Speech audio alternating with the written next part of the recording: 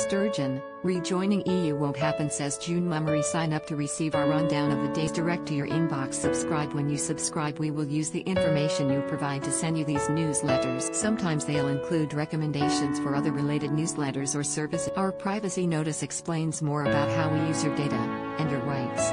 You can unsubscribe at any. The Scottish Government's 2021 flag flying guidance orders the EU colours to be flown 34 days. It had previously only been raised over buildings, including St Andrew's House in Edinburgh, to celebrate Europe Day Main. Trending it reconfirms the SNP's refusal to accept referendum results and their ongoing focus on constitutional issues at the expense of more important priority. But we should not be surprised. Like all nationalists, Sturgeon is obsessed with. Scottish Tory leader Douglas Ross added, token gestures such as this serve no purpose other than to distract from the extreme challenges facing Scotland. Only the Scottish Conservatives have the strength to stand up to the SNP's damaging and divisive agenda in their 14 years of failed government. During the 201 EU referendum, the UK voted by 52% in favour of leaving the European. Scotland voted by 2% in favour of staying a member of the EU 27. Brexit pushover, Michael Gove too soft on EU and Northern Ireland row insight royal family live,